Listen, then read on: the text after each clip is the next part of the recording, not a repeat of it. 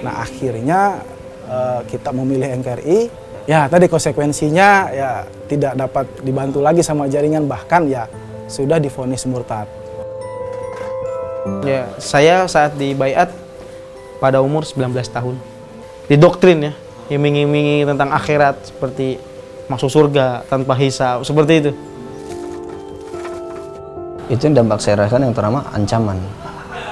Ancaman yang di mana berupa eksekusi, berupa pembunuhan. Nah, itu yang saya rasakan saat ini, yang sering diancam. Dan itu bukan ancaman itu bukan terhadap saya doang dan terhadap kawan-kawan yang sudah kembali kepada NKRI. Siapa kamu? Yang yel dia. Allah Akbar, Allah Akbar. Dawa Islam, buatnya.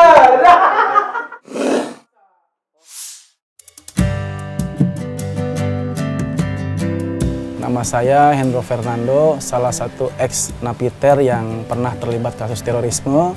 Saya bebas di Lapas Nusa Kambangan pada tahun 2020. Label bekas napi teroris sempat membuat Hendro limbung dan didera ketakutan. Terlebih saat ia memutuskan kembali ke masyarakat dan berbaur dengan lingkungan sekitar. Kalau untuk ex napiter ya, terutama tentang reintegrasi sosial ya, kembalinya kita kepada masyarakat, eh, kita ada rasa ketakutan waktu itu eh, dengan label masa lalu kita sebagai apa narapidana terorisme, kita takut istilahnya masyarakat tidak menerima dan sebagainya. Padahal memang eh, saya waktu itu bebas sudah NKRI dan berubah, tapi kan masyarakat kan belum tahu. Keterlibatan Hendro di jaringan teroris dimulai pada 2012 saat dirinya berusia 28 tahun. Semula, ia berniat hijrah menjadi pribadi yang lebih baik. Namun, niatan itu berubah ketika ia mengikuti pengajian eksklusif bersama jamaah Ansarut Tauhid. Jadi di pengajian itu ada yang namanya jamaah Islamiyah, ada yang namanya ya, apa namanya ISIS, ada yang uh, JAD, JAT, komplit. Jadi kita tinggal pilih mana yang yang kita suka gitu. Nah dari situlah akhirnya saya terpapar saya waktu itu direkrut oleh uh, eh, JAT ya, Jamaah Ansur Tauhid ya, Ustadz Abu Bakar Basir. Uh, akhirnya sampai saya masuk pengajian internalnya mereka. Nah karena uh, saya tidak terlalu sepemikiran, akhirnya saya keluar dan mencari yang lebih ekstrim lagi, lebih radikal lagi. Saya barulah gabung kepada ISIS.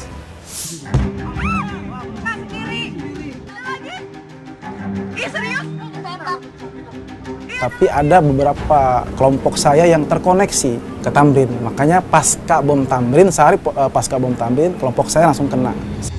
Peran Hendro di jaringan teroris kala itu cukup sentral. Ia merupakan penyokong logistik jaringan teroris Mujahidin Indonesia Timur pimpinan Santoso.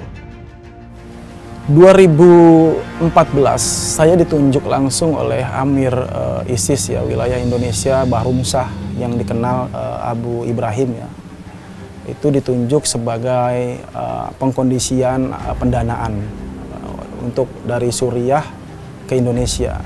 Saya pernah mendapatkan dana kontinu yang paling besar waktu itu saya pernah menerima itu 1,3 miliar. Uh, saya alokasikan untuk pembelian senjata ke Filipina. Uh, terus senjata-senjata tersebut saya kirim ke Poso, ke MIT Mujahidin Indonesia Timur. Jadi pada waktu itu hampir 80 persen uh, logistik mereka kita yang support. Perjuangan Hendro kembali berbaur dengan masyarakat tidaklah mudah. Stigma negatif bahkan diskriminasi tak jarang ia terima. Ada beberapa yang mungkin rasa ketakutan ya, ini pun juga nggak langsung saya dengar ya. Saya dari seseorang juga warga setempat, ya tapi ya saya sih beranggapan ya mereka itu tidak tahu gitu. Karena ya kan tidak tidak tahu kalau bahwa Napiter itu bisa berubah kisah Muhammad Tommy tak jauh berbeda. Ia mulai mengenal pemahaman jumud setelah meninggalkan dunia musik yang digelutinya sejak remaja. Berawal dari keinginan menjadi pribadi yang lebih baik, ia lalu tergerak mengikuti berbagai pengajian. Awal mulanya JAD itu dulu saya main musik. Jauh dari agama, selama main musik itu kita ketemu dengan kawan. Kawan yang sama-sama dulu pemain musik. Nah, dia ngajak-ngajak untuk mm, ngaji, ikut ngaji saya yang sudah lama jauh dari agama mengikuti pengajian itu. Tommy mengemban posisi penting saat masih tergabung dengan JAD. Bahkan ia sempat menjadi pemimpin di wilayah Kalimantan Tengah. Atas keterlibatannya dalam jaringan teroris, Tommy difonis penjara selama lima tahun. Berbeda dengan Hendro dan Tommy, Muhammad Iqbal terpapar paham radikal di usia yang masih 22 tahun. Di usianya yang masih belia, Iqbal bergabung bersama kelompok Jamaah Islamiyah. Ia lalu memutuskan hijrah ke Suriah untuk berperang. Tujuan saya waktu itu ya tadi membantu kaum muslimin yang sedang tertindas di sana itu. Waktu itu saya izin ke orang tua e, ingin mencari pekerjaan di Pulau Kalimantan seperti itu. Saya tidak bilang saya pengen ke Suriah segala macam. Tapi benar-benar e, tidak boleh ada yang tahu, termasuk keluarga sendiri. Iqbal mengaku nyaris kehilangan nyawa saat dirinya berada di perbatasan Turki. Saat itu saya sedang tiarap menuju tembok ke, ke Suriah Ternyata orang Suriah ingin ke Turki untuk menyelamatkan dirinya karena di sana kan konflik perang. Lucu. Kita pengen bantu perang, mereka pengen aman. Kami di Brondong pada saat itu. Saya langsung refleks tiarap kan. Ya alhamdulillah bisa selamat. Kalau waktu itu saya bangun saja, mungkin saya udah nggak ada di sini. Kembalinya Tommy dan Iqbal ke tengah-tengah masyarakat pun tak pernah mudah emang ada sebagian orang yang mungkin kaget kenapa nggak diskusi dulu RT ini sama warga untuk menerima saya kembali tapi RT sendiri yang menerima saya ketika ada seseorang masyarakat ada satu salah satu dari masyarakat itu yang mengatakan gini bahwasanya nggak semuanya kami menerima keadaan di sini katanya nggak nggak bisa menerima keadaan emas dengan dengan sepenuhnya kata dia gitu. sehingga karena kepulangan saya itu karena status saya sebagai mantan napi teroris. Nah, jadi saya menyangkap menyikapinya pernyataan seperti itu saya menyikapi begini. Ya, silakan Bapak mau menerima saya atau tidak. Yang jelas saya berusaha untuk menjadi yang lebih baik dari seperti saya dahulu. Itu. Selama dua tahun terakhir, Hendro bersama sembilan orang lainnya kini mengelola Yayasan The Pintal Yayasan ini diinisiasi Detasemen Khusus 88 Anti Teror atau Densus 88 untuk mewadahi para napiter yang telah menjalani masa hukuman dan sukses mengikuti program deradikalisasi. Yayasan ini mengembangkan unit usaha peternakan burung puyuh petelur. Ini dilakukan agar para napiter ini bisa kembali berdikari. Kita kumpulin teman-teman yang memang sudah NKRI juga semuanya, kita bikin satu wadah ya yaitu sebuah yayasan namanya The Bintal itu di Bekasi. Nah, banyak teman-teman yang ikut gabung juga dan kita bikin unit usaha bersama-sama.